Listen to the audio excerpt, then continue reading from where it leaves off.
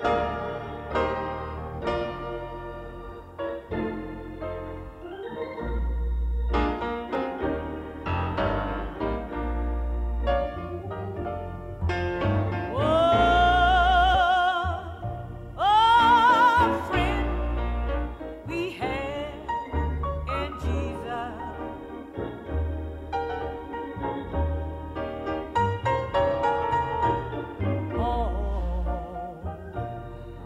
our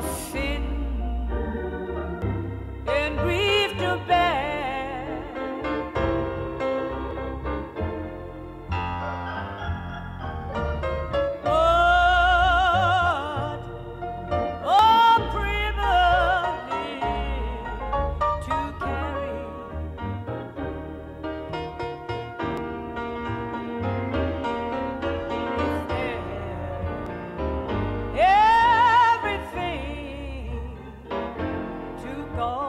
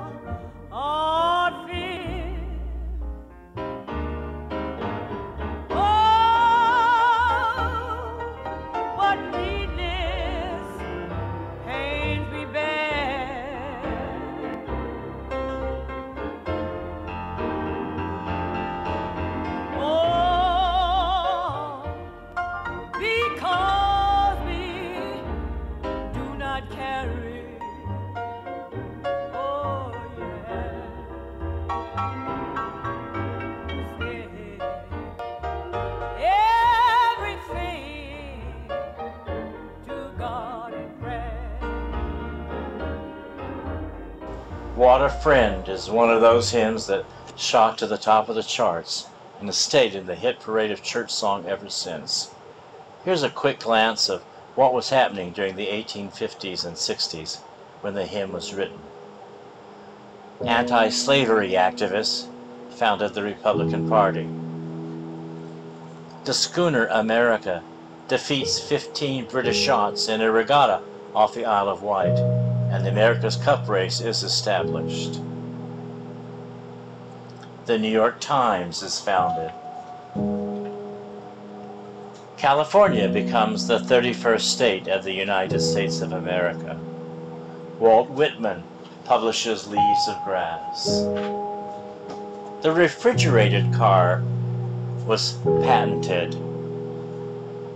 Thank God the stapler was invented.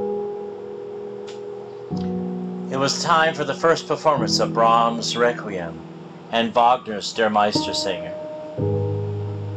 Decoration Day, later called Memorial Day, is first observed in the northern United States.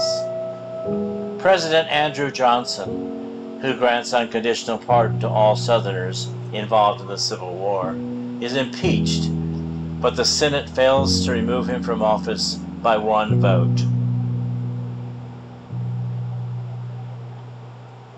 John Menard of Louisiana is the first African American elected to Congress. The 14th and 15th Amendments are ratified. Wyoming is the first state to give women the right to vote in 1869. The music was written in 1868 by Charles Crozat Converse, a lawyer and entrepreneur born in Warren, Massachusetts in 1834. At 20, he set off to Leipzig, Germany to study law and philosophy, as well as music theory and composition. He returned to the States to obtain his law degree and set up practice in Erie, Pennsylvania. Erie, in fact, is the name he gave to this tune. It first appeared in Silver Wings, an 1870 church songbook. During World War I, the tune was paired with the words, When this bloody war is over.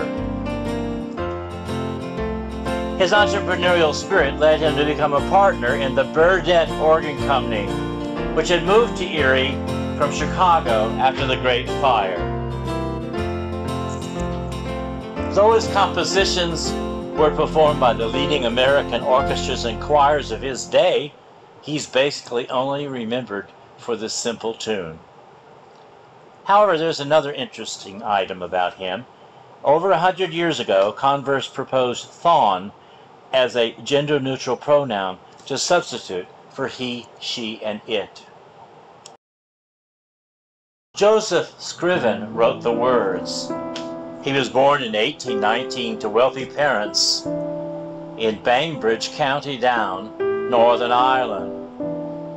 Baptized in the Church of England, he would join the Plymouth Brethren, a Dublin movement of non-denominationalists. His schooling began at the Addiscombe Military College, training him for a position in the East India Company. He opted instead to matriculate and obtain his degree at Trinity College, Dublin. Scriven's life was rather sad, repeatedly jarred and challenged by tragedy. His first challenge came on the night before he was to be married. That night, his fiancée died by drowning. Two years later, he immigrated to Canada. It was here that he wrote Prayer Without Ceasing, the poem to comfort his ill mother, which became the lyrics to What a Friend We Have in Jesus. His worry for his mother many miles away was challenging enough, but that soon gave way to remorse when yet again, before his wedding, his fiancée fell ill and died. He thence devoted himself the rest of his life to tutoring, preaching, and helping others, including doing menial tasks for widows, the sick, and the poor. Though thought a bit odd. People spoke highly of him for his charity. His last days, sadly, were clouded with ill health and deep depression. Given his despondency, a friend brought him to his house to care for him. One night, he went missing, said he was going out for a walk to get some fresh air. Later, he was found dead in the spillway of his friend's gristmill and to this day no one knows for certain if Joseph Scriven's death was accidental or suicide. Several monuments have been erected in his memory. A tall obelisk was built upon his grave in Port Hope, Canada. A plaque can be found on the Port Hope to Peterborough Highway in Canada. And the Banbridge District Council built an impressive memorial in Northern Ireland.